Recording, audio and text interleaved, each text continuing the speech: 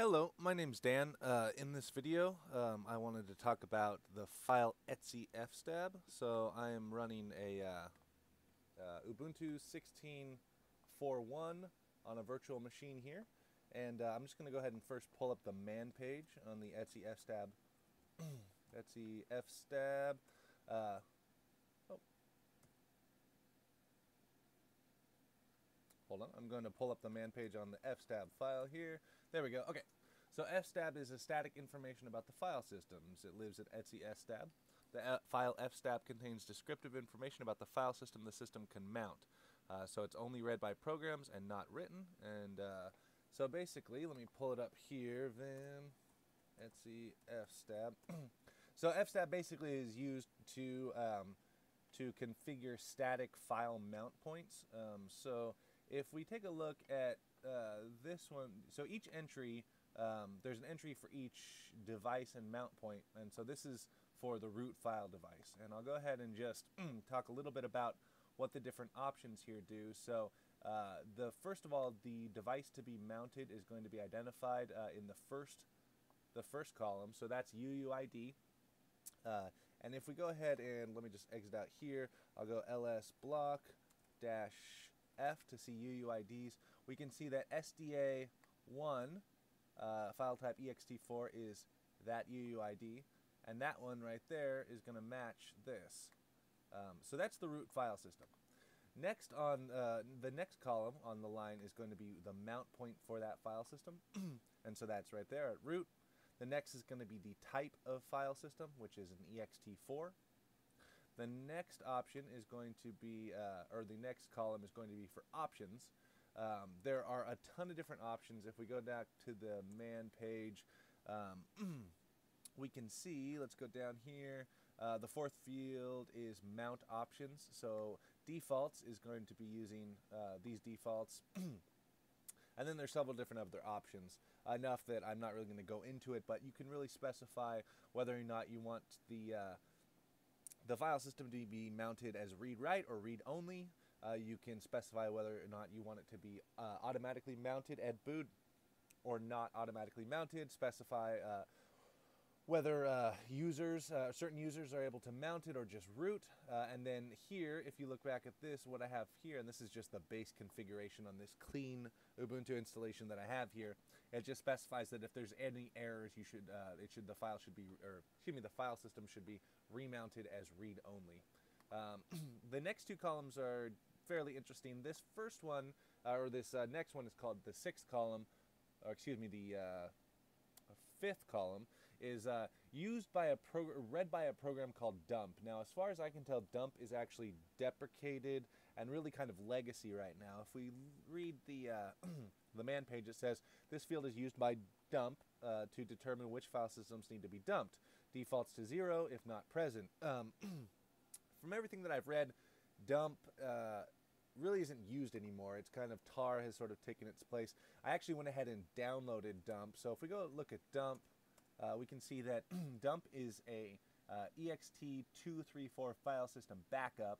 Um, however, if we go down, um, I'm just gonna go ahead and uh, like watch. So if we uh, if we search for tape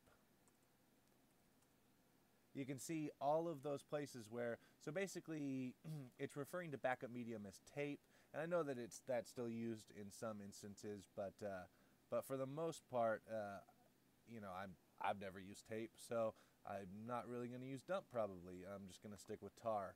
Um, so exit out of that. So basically, uh, everything that I've read, you can just keep a zero as a no dump uh, in this six column if we look back at the fstab file. And then the last column, uh, the and fstab, the sixth column, uh, specifies this is uh, file check file system pass or number. So this is the field is used by FS check to determine the order in which file system checks are done at boot time. Um, the root should always be one, and that'll be the first file system to check at boot time. Uh, and then everything else can be two, you know, or three. This second part, this second line here, the only other one I have, that's actually swap. You can tell by the type and uh, or the file system is swap, and then that SW right here for options is kind of just a uh, placeholder. and uh, no mount point, uh, and so on and so forth. and that has a zero dump uh, and a zero for pass. Um, so that's the basics. Uh, so I'm going to go ahead and just add a line. Now I've done this in a couple of other videos, and this is fairly uh, standard. Um, but what I'm going to do is I'm going to go ahead and add a line. Um, oh, and it's saying that it's in read only. There's that. So let me quit. Okay. Uh, let me redo this here. So what I'm going to do is if we take a look on the right side of the screen, you can see up here that I've actually uh, recently created on this installation uh, a logical volume uh, called Ubuntu VG root uh, that spanned over SDB and SDC. Um, so I'm going to go ahead and use that. I'm going to automatically mount that uh, onto, um, well, I think there is a, I think I have uh, Apache downloaded into here. Uh, and I don't. So I'm just going to go ahead and automatically mount it onto mount uh, just for the sake of easiness right now. So what I'm going to do is I'm going to go UUID. I'm going to separate it a little bit so it's easier to see. UUID. And then I am going to...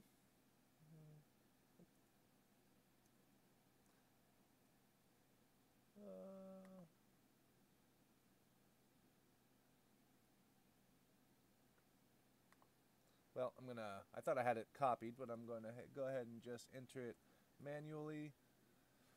Uh, 65B dash C 18 F dash 4191 dash AC 8F dash 503 16C30 EC81. Okay. And now the file system type uh, is ext4, and or excuse me, the new or the next field is the mount point. So I'm going to put it onto uh, root mount, and then the next uh, option is going to be the file system type ext4. Then I'm just going to go defaults uh, for the options, and I'm going to go zero for the dump, and I'm going to go two for the check. Okay. And so uh, assuming that I got that UUID right, which I'm just double checking right now, it looks correct to me. When I go ahead and I'm going to write this out, boom, okay.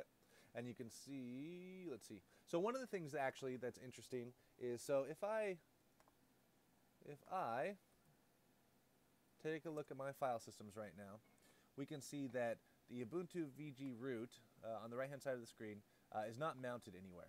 Now one of the things is that fstab is read by mount not only at boot uh, but it's also referenced by mount itself.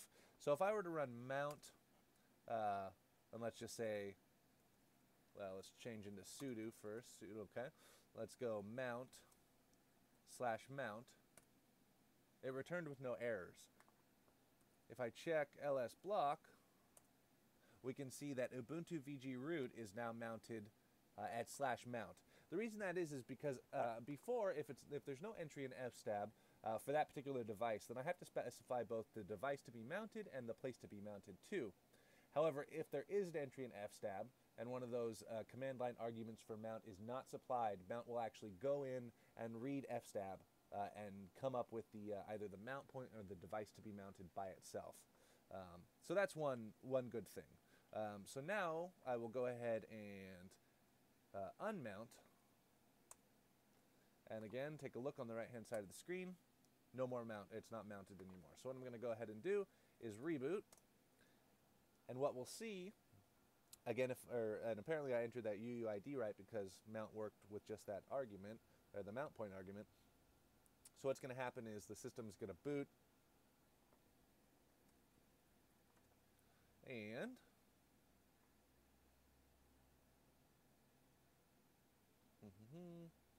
pull up a terminal, ls block, and you can see that the logical volume uh, Ubuntu VG root is mounted on slash mount.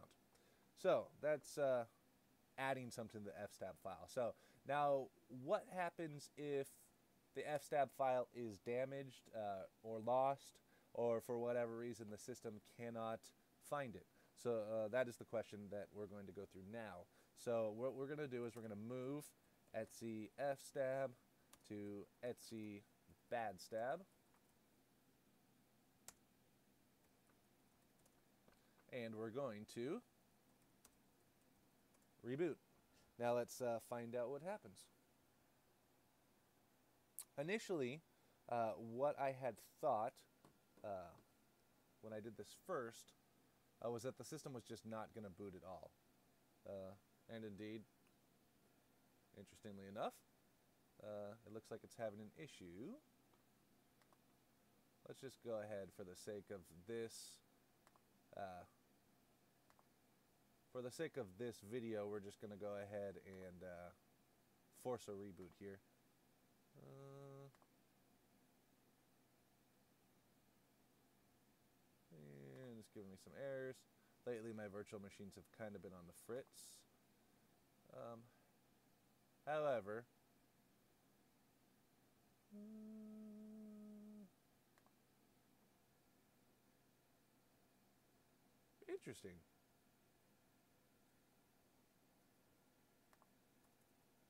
Oh, there it is. So this has not happened before to me, but uh, let's see where we're at, uh, just for the sake of fun. So it's asking me for a login, um, and so I'm going to try my login. Okay, so actually this is where I ended up before, just a little differently. If you take a look at the error screens, what you see is that certain things are not available or uh, we are not able to accomplish them uh, because, uh, and I lack a cursor here, um, or excuse me, a, uh, uh, a mouse to highlight things, but if you look closely, it says that it is a read-only file system. However, I have logged in under my you know proper username. if I take a look at my current working directory, I am in home. If I look at root, it looks like I have a full root system. If I look at root dev, uh, ls root dev, seems to be everything there. ls proc seems to be everything there. If I look at mounted file systems, I see that SDA1 is mounted on root. My root file system is mounted on root. However, uh, Ubuntu VG root, the logical volume, is not mounted. So what's happened is I'm in the system, but if I let's say okay, so this was caused by uh, no fstab file, right? So let's say, oh, oh and now it's uh, oh, okay. So let's say sudo move etc bad. Oh, and it's not going to do tab completes in here. Uh, for whatever reason. Uh, so we'll go sudo etc bad stab, and we want to move that to etc fstab. But of course, it says cannot move read-only file system. So how do we get out of this? Well, what we need to do is we need to sudo mount dash o remount read write of dev SDA1. So what we need to do is remount uh, the root file system as uh, RW, which is, excuse me, read write. So we do that, and what happens? Boom. The desktop comes up, and seems to be, well, let me not speak too soon. Okay, uh, pull up a terminal here. ls block, so it seems to be, you know, working fine. Uh, let's accept if you notice that there is no more swap partition mounted. So we don't have swap, uh, but we have the root file system. We have a desktop environment uh, and should have full functionality. Um, so now if we try to sudo move etc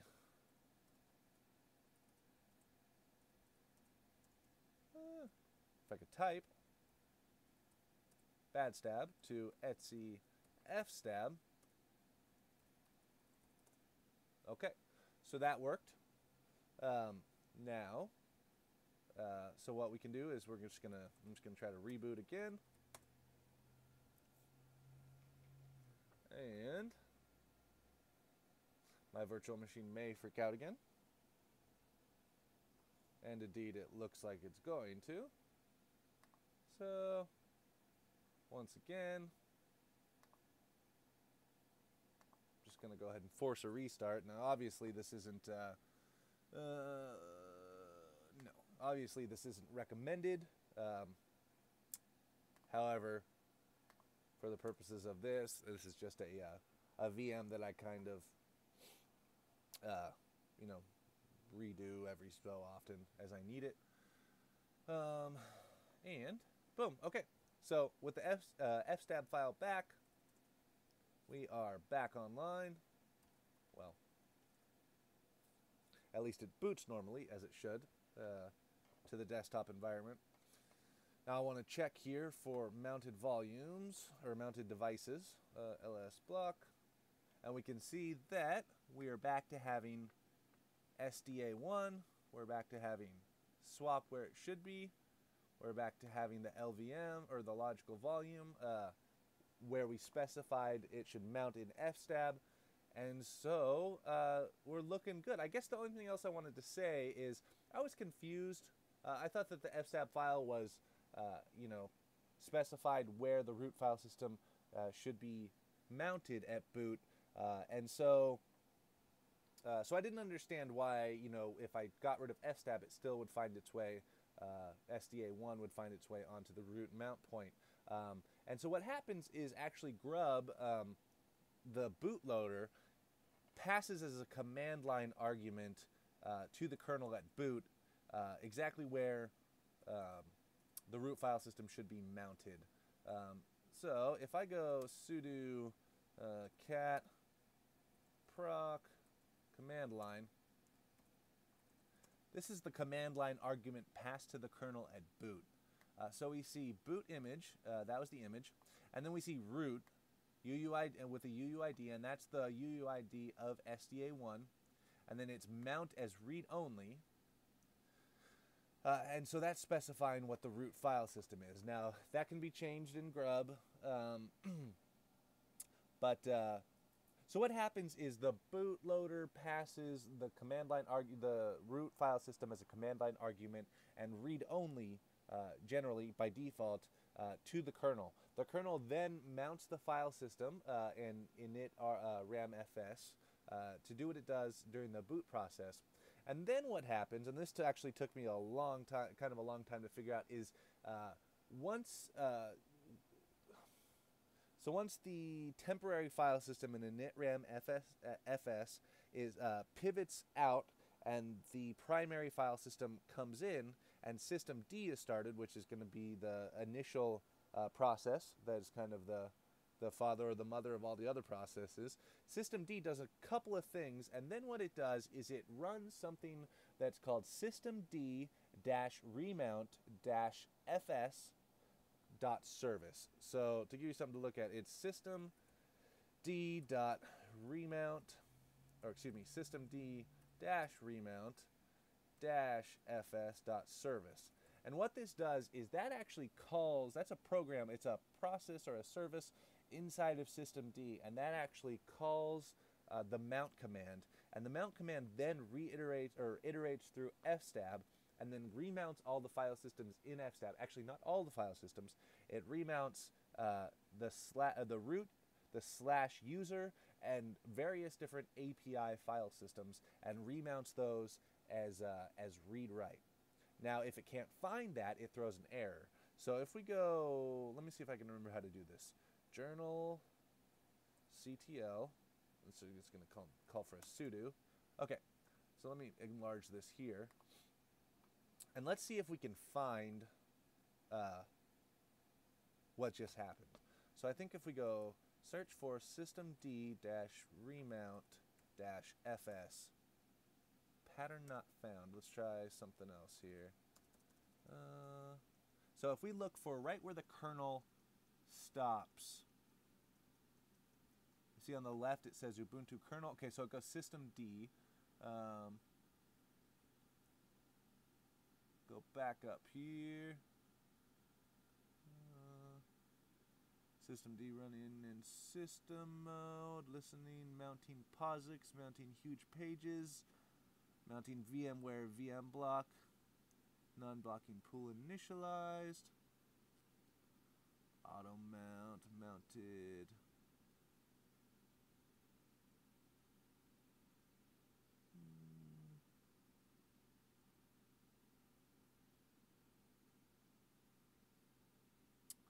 Well, at one point I had been able to find it. Um, system D slash remount. Pattern not found. Well, uh,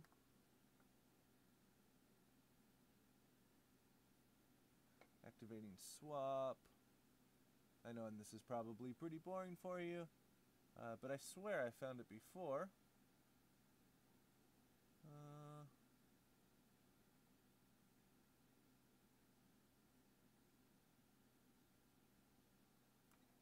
Let's see here.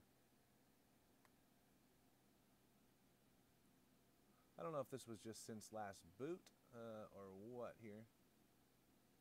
Uh, well, at any rate, uh, let's say I think there might be a man page. System D dash remount dash FS. There we go. Okay. So I'll show you the man page at least. It's somewhere in that journal system. Name is system remount uh, fs.service. Um, remount root and kernel file system. So systemd.fs.service is an early boot service that applies mount options listed in fstab to the root file system, the slash user file system, and the kernel API file systems. And this is required so that the mount options of these file systems, which are pre-mounted by the kernel, the initial RAM disk, and container environments or system manager code are updated to those listed in etc fstab. Um, so that right there is what's responsible for uh, you know, remounting everything as read write without an fstab file. It is unable to do that and get stuck in, uh, well, you don't get stuck, but you end up in read only mode. Once again, the command to get out of that is going to be sudo, well, sudo mount dash o remount read write and then your specified root file system. So that's it. Um, I feel like I had something else to say, but I think that's going to be it. So uh, thank you again for watching, and as always, feedback is encouraged. My name is Dan, uh, and have a good one.